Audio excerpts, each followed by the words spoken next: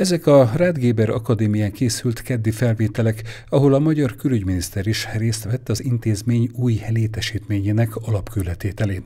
Kővári János azt mondja, a helyszínen derült ki, hogy az akadémia nem kap önkormányzati támogatást. Miután ezt nem tették, ezért tegnap Szijjártó miniszter úrral és Rádgéber Lászlóval tárgyaltunk arról, hogy milyen kormányzati segítséget lehet bevetni hiszen az év végéig gyakorlatilag most már alig van forrásuk, nem is tart ki a költségvetés.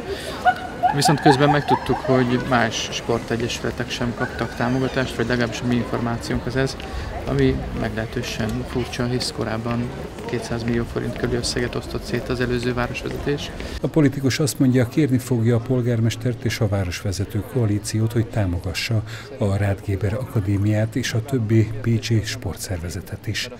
Kedden pedig azt kérték Szijjártó Pétertől, hogy segítsen kormányzati támogatások megszerzésében, hiszen a Nemzeti Kosárlabda Akadémia egyik büszkesége Pécsnek, mondta a képviselő stábunknak.